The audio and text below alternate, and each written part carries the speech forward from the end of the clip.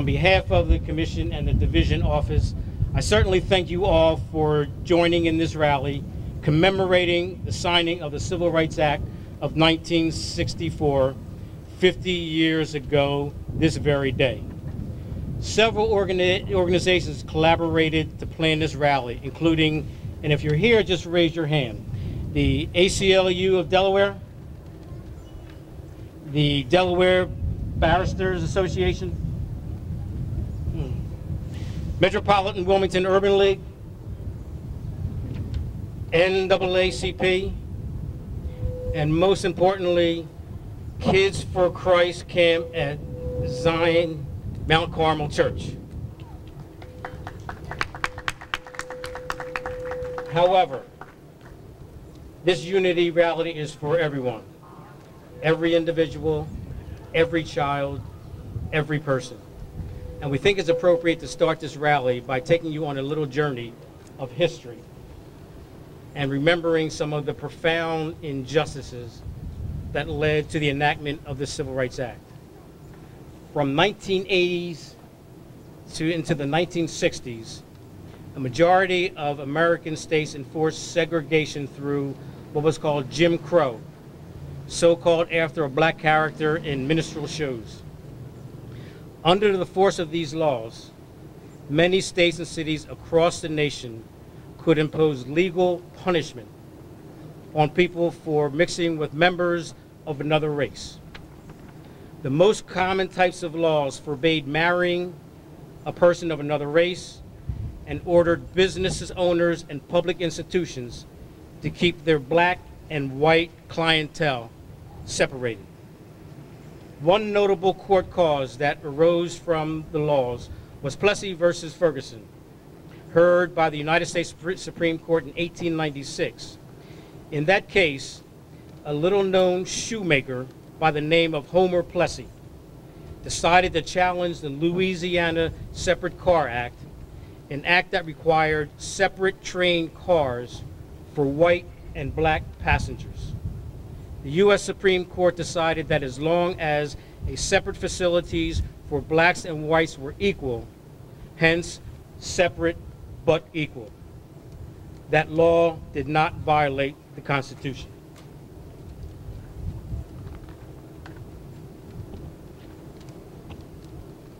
In the years that ensued, the United States Civil Rights Movement challenged Jim Crow laws in the courts based on facilities not being equal. That is until 1954, with a landmark United States Supreme Court case, Brown v. Board of Education. In Brown, 13 children sued the Board of Education for Topeka, Kansas, calling for the school district to reverse its policy of maintaining separate elementary schools for black and white children. The Kansas District Court ruled in favor of the Board of Education, but the children appealed.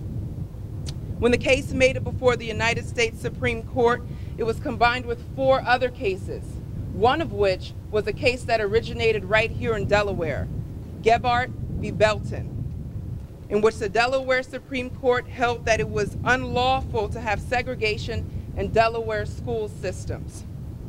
In deciding Brown, attorney Thurgood Marshall, who later became a United States Supreme Court justice, argued that separate facilities were inherently unequal. The United States Supreme Court agreed with Mr. Marshall and unanimous, unanimously ruled that racial segregation in public schools was unconstitutional. Following the Brown decision, many activists risked their lives seeking to expose the harshness of racial law and order.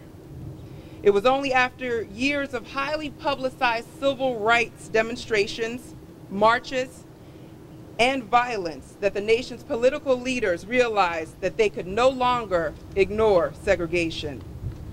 But not everyone welcomed change. In 1963, Alabama Governor George Wallace vowed to defend segregation now, segregation tomorrow, and segregation forever. On June 11, 1963, Governor Wallace personally blocked the entrance of a building to one of the University of Alabama's buildings to prevent two black students from enrolling at the school.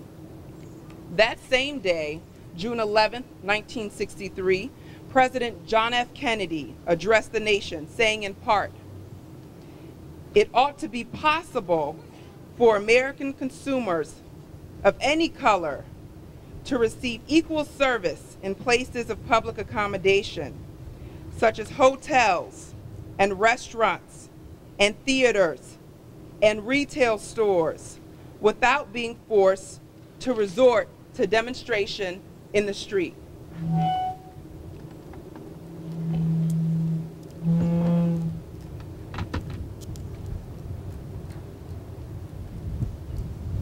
President John F. Kennedy went on to say the following words. It's, it's open to be possible for American citizens of any color to register to vote in a free election without interference or fear uh, of reprisal. It ought to be possible, in Close. short, Close to it ought to be possible, in short, for every American to enjoy the privileges of being American without regard to his race or his color. Every American ought to have the right to be treated as he would wish to be treated, as one would wish his children to be treated. But this is not the case today. Hold it close to her mouth.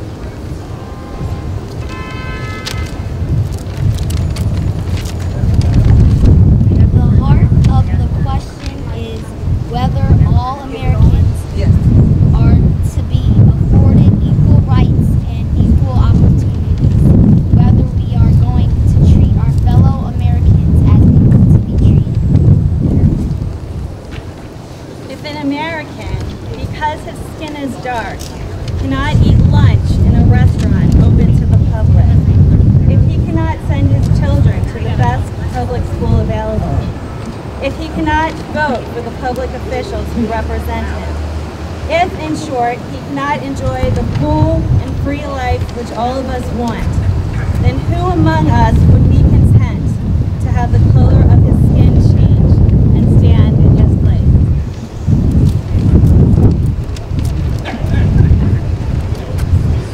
Who among us would, who among us would be content with the counsel of practice and delay?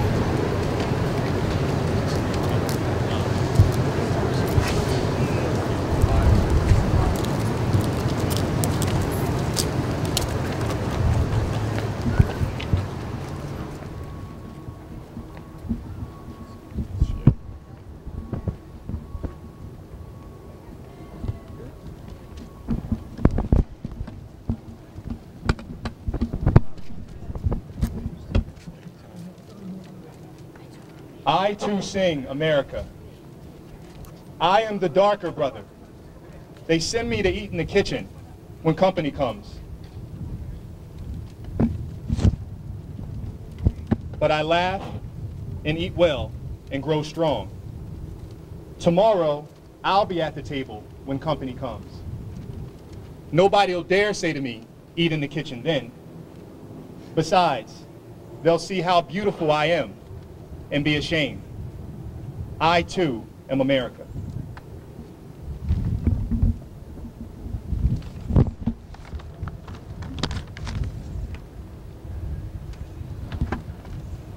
In August 1963, more than 200,000 Americans of all races celebrated the centennial of the Emancipation of Proclamation by joining the March on Washington for Jobs and Freedom. In the fall of 1963, President John F. Kennedy proposed the initial Civil Rights Act. It did not pass. November 24, 1963, President Kennedy was assassinated and Lyndon B. Johnson rose to presidency. President Johnson used his connections with Southern white congressional leaders and the outpouring of emotion after the assassination of and the passed the Civil Rights Act as to honor President Kennedy. in signing the Civil Rights Bill of, on January 2nd, 1964, President Lyndon Baines Johnson said in his remarks,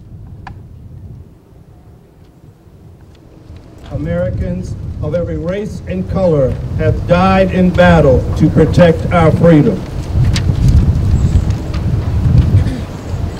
Americans of every Americans of every race and color have worked to build a, na- a nation of writing opportunities. Now, our generation of Americans has been called on to continue the unending search for justice within our own borders. We believe that all, all men are created equal, yet many are denied equal treatment. We believe that all men have certain unalienable rights, yet many Americans do not enjoy these rights. Let, let us go the spring of great turquoises.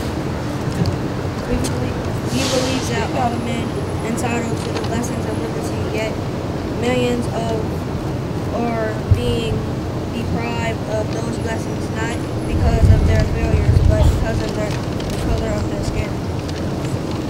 Let us pray for wise and understanding hearts.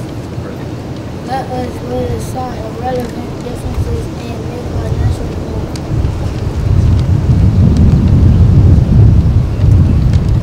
Yet millions are being deprived of those blessings, not because of their own failures, but because of the color of their skin.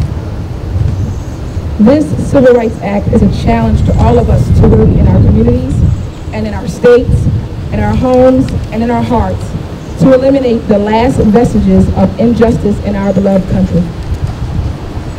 Let us hasten that day when our unmeasured strength and our unbounded spirit will be free to do the great works ordained for this nation by the just and wise God who is the Father of us all.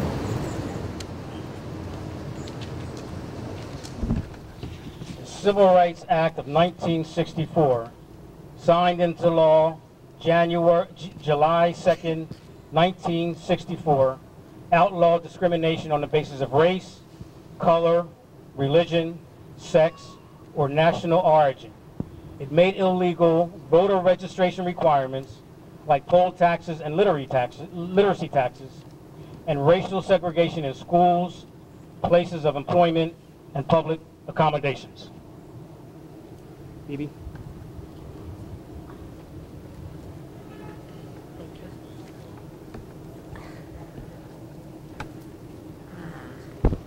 Maya Angelou. Maya Angelou died recently, poet laureate. She actually was named Marguerite Annie Johnson, and she was born on April the 4th. And if you all remember, April the 4th in 1968 was the day that Dr. King was murdered. And she was one of his closest friends. She wrote this poem called Still I Rise. A lot of times we read poetry and really we don't know what it means. But if you think about it, there is a ground, there is dirt, there is earth.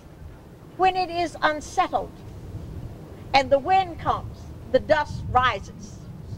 And then the dust settles. So it's sort of like the civil rights against oppression.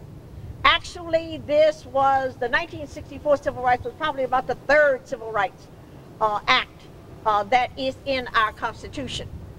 But Maya Angelou wrote this You may write me down in history with your bitter, twisted lies.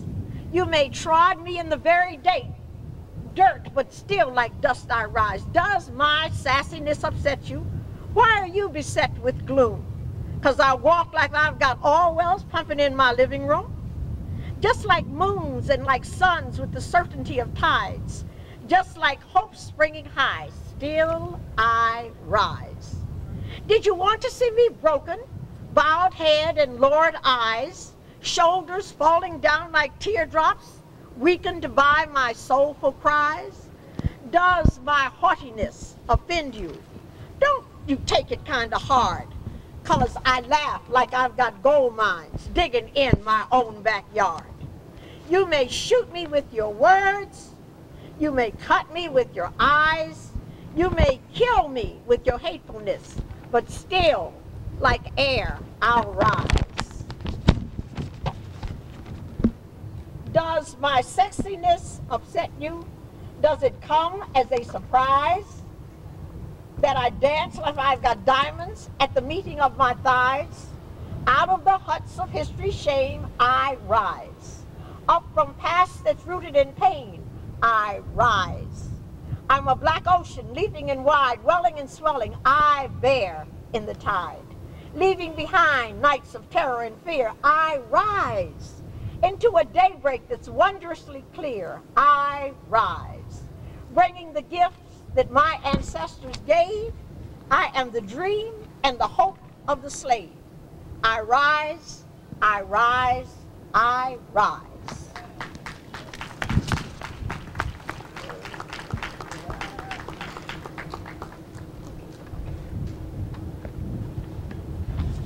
As I said earlier, Rosa sat, Martin marched, Obama ran, now we all must rise. At this time, we want to present some of the proclamations from our uh, elected officials. First proclamation coming from Congressman Carney, and it reads as such. Thank you for inviting me to participate in a Human Relations Commission's event marking the 50th anniversary of the Civil Rights Act. This legislation was a clear example of what can be accomplished in our nation with strong leadership toward an important cause. It ushered an era of change for the nation and brought millions of Americans closer to equality, a fight to continue each day. One of the real privileges I had as a member of Congress is the opportunity to get to know Representative John Lewis and join him in the 2012 on the annual Civil Rights Pilgrimage to Atlanta. Representative Lewis is a civil rights icon and a wonderful, saint-like person. Yet, 50 years ago, he was beaten, bloody, and experienced hatred all across the country as a leader of the civil rights movement. The thing that most impressed me about Representative Lewis is that notwithstanding his experience as a young man, he has an incredible optimism and belief in the ideas of America.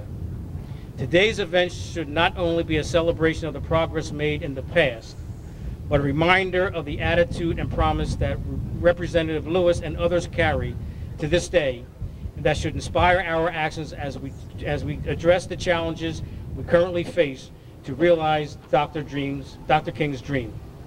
Once again, thank you for inviting me to this historic occasion. I look forward to continue to working with all of you to move our state and nation closer to equality for all. Sincerely, John C. Carney Jr., United States Representative. City Council?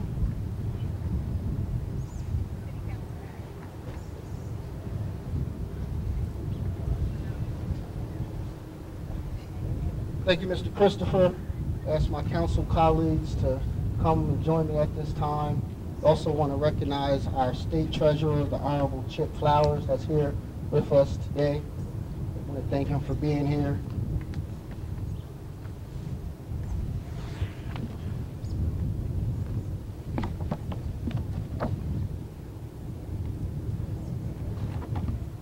I want to thank my council colleagues as they help me in presenting this resolution today. Uh, Councilwoman Hanifa Shabazz, Councilwoman Sherry Dorsey Walker, and Councilman Nnamdi Chukwuocha. This resolution is sponsored by the President of City Council, Theopalis K. Gregory, and all of Council, and it reads, whereas the passage of the Civil Rights Act 188 years following the adoption of the Declaration of Independence and 99 years after the end of the Civil War was a major step forward for America in supporting the creed that all men are created equal. And whereas in 1964, the Civil Rights Act passage was another important milestone in protecting the individual rights of people of color and legally ending discrimination and segregation in America. the Civil Rights Act still remains one of the most important pieces of legislation instituted, not only for people of color or different nations of origin, but for each and every American, regardless of gender or socioeconomic status or their religious background, and Whereas Wilmington City Council is ever mindful of those trailblazers who led and participated in the civil rights protests and sit-ins at lunch counters, who refused to give up their seat on the bus because of the color of their skin, who were imprisoned, their homes burned, and yes, who lost their lives because they believed in the dream of equality. And whereas, though 50 years have passed, we as elected officials, as business owners, as church officials, as civic organizations, and as individuals must still fight to ensure that the Civil Rights Act strength is not weakened and made null and void. Now therefore be it resolved by the City Council of the City of Wilmington that Wilmington City Council joins Delaware's elected officials, the citizens of Wilmington, the state of Delaware, and our great nation to commemorate the Civil Rights Act of 1964 and other such legislation that has been enacted to uphold that all men are created equal, that they are endowed by their Creator with certain inalienable rights, that among these are life, liberty, and the pursuit of happiness. Thank you. I want to thank all of my council colleagues. Uh, as we commemorate the 50 years of the Civil Rights Act, we also want to recognize that these colleagues, these council people that are standing before you also supported legislation this past January that reinstituted Wilmington Civil Rights Commission. So I want to thank my council colleagues for that as well. Thank you for having us.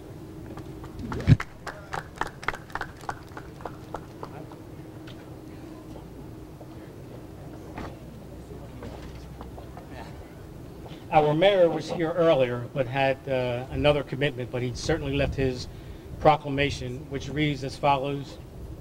Whereas 2014 marks the 50th anniversary of the Civil Rights Act of 1964, signed into law by President Lyndon B. Johnson on July 2, 1964, to protect Americans' rights to vote and to prohibit discrimination. And whereas the Civil Rights Act of 1964 transformed our nation's understanding of justice, equality, and democracy and advance our long journey toward a more equal and fair union. And whereas this historic legis legislation helped bring an end to the Jim Crow era by banning discrimination in public places, prohibiting employment dis discrimination on the basis of race, color, religion, sex, or national origin, and leading to the integration of schools. And whereas our nation is profoundly better because of the many decades of sacrifices made by countless Americans who bravely fought against discrimination with the hope that one day achieve freedom and equality for future generations. And whereas as we commemorate the 50th anniversary of this landmark achievement, we all must renew our commitment to continue our fight for justice, equality, and building a nation that is more free and fair for all. Now, therefore, I, Dennis P. Williams, Mayor of the City of Wilmington, do hereby proclaim January 2nd, 2014 as the 50th anniversary of the Civil Rights Act of 1964 and ask all citizens to celebrate the legacy of this historic legislation and observe this day with programs, ceremonies, and activities that celebrate this accomplishment and advance civil rights together. Signed, Dennis P. Williams, Mayor.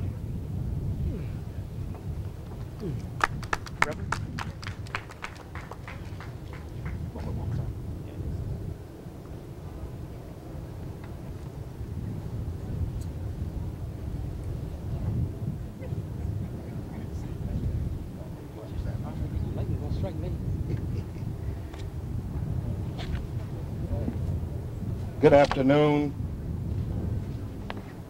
I am Christopher Bullock, President of New Castle County Council. On behalf of all our council members, we commemorate the 50th anniversary of the passage of the Civil Rights Act of 1964. Whereas on July 2nd, 1964, President Lyndon B. Johnson signed into law the landmark Civil Rights Act. And whereas the Civil Rights Act of 1964 outlawed state-sanctioned segregation and prohibited discrimination in hotels, motels, restaurants, theaters, and other public accommodations. It is also authorized at that time to terminate all federal funds from programs that practice discrimination and created the EEOC. And whereas the act was called for by President John F. Kennedy in his civil rights speech in 1963 and was taken up by President Johnson. And whereas the momentous law was the outcome of years of tireless activism on the part of the civil rights movement, many who gave their blood, sweat, and tears, that resulted in fair treatment regardless of race, color, religion, sex, or national origin. Now therefore be it resolved by and for the County Council of New Castle County. The County Council hereby commemorates the 50th anniversary of the passage of the landmark Civil Rights Act of 1964. And we support all efforts for the future to ensure all citizens in New Castle County are granted their civil rights. Christopher Allen Bullock, President, New Castle County Council. Thank you and God bless you.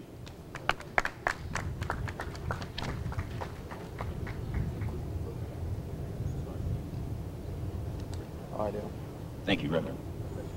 As we get ready to close the program, my name is the Reverend Dr. John Moore. I'm the youth pastor Calvary Baptist Church and also vice president for resource development and strategic partnerships.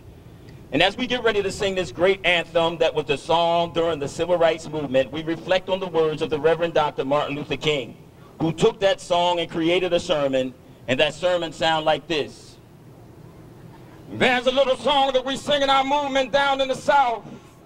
I don't know if you've heard it, but it has become the theme song. We shall overcome.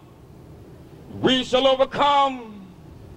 Deep in my heart, I do believe we shall overcome.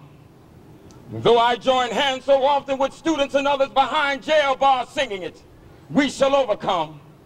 Sometimes we've had tears in our eyes when we join together to sing it, but we still decided to sing it, we shall overcome. And oh, before the victory is won, some will have to get thrown in jail some more, but we shall overcome. Don't worry about us before the victory is won. Some of us will lose jobs, but we shall overcome. Before the victory is won, even some will have to face physical death. But if physical death is the price that some must pay to free their children from a permanent psychological death, then nothing shall be more redemptive. We shall overcome. Before the victory is won, some will be misunderstood and called bad names and dismissed as rebel rousers and agitators. But we shall overcome. And I'll tell you why. We shall overcome because the arc of the moral universe is long, but it bends towards justice. We shall overcome because Carlyle is right. No lie can live forever. We shall overcome because William Cullen Bryant is right. Truth crushed the earth will rise again. We shall overcome because James Russell Lowell is right. Truth forever on the scaffold, wrong forever on the throne. Yet that scaffold sways a future. And behind the dim unknown standeth God within the shadow, keeping watch above his own. We shall overcome because the Bible is right. You shall reap what you sow. We shall overcome. Deep in my heart, I do believe we shall overcome. And with this faith, we will go out and adjourn the councils of despair and bring new light into the dark chambers of pessimism. And we will be able to rise from the fatigue of despair to the buoyancy of hope. And this will be a great America. We will be the participants in making it so. And so as I leave you this evening, I say, walk together chilling, Don't you get weary. There's a great chat meeting in the promised land. We shall overcome. We will overcome, for we have overcome on this day. God bless you. Now, as we stand around, let us all stand if we can and reflect on the words of that great song that's still so relevant today. We shall overcome. Now start, and everybody join in with me. We shall overcome. We shall overcome. Join hands. Overcome.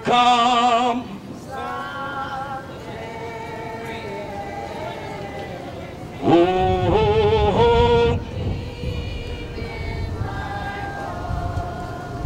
I do believe. We shall. Now let's sing this stanza. We shall all be free.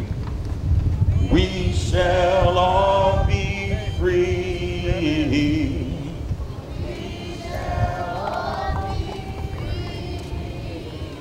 We shall all be free.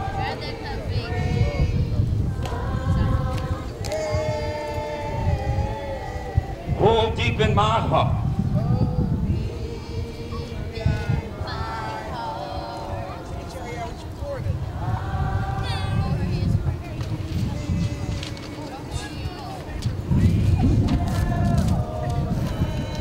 One more stanza, we shall overcome. Let's just repeat that last stanza one more time as we walk from this place. We shall overcome. We shall overcome. Sing it like you mean it, my brothers and sisters.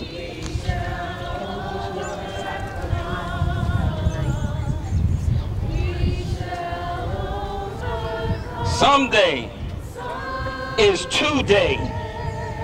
That's right. Oh, deep in my heart, I